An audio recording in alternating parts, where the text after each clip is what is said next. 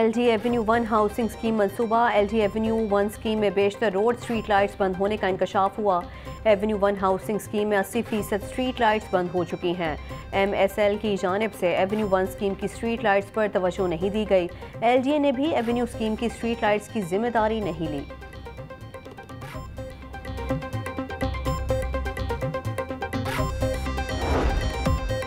और L D A का एक और स्पोर्ट कॉम्प्लेक्स तैयार, तमाम इंतज़ाम मुकम्मल कर लिया गया निगरान वज़ीर हाउसिंग असफर अली नासिर का ताजपुरा स्पोर्ट कॉम्प्लेक्स का दौरा। डायरेक्टर स्पोर्ट और प्रोजेक्ट डायरेक्टर की स्पोर्ट कॉम्प्लेक्स के तमाम सेक्शन से मुतलिक ब्रीफिंग। सूबाई वज़ीर असफर अली नासिर का कहना था कि ताजपुरा स्पोर्ट कॉम्प्लेक्स मुकम्मल तैयार है। जल्द शहरियों के लिए खोल दिया जाएगा।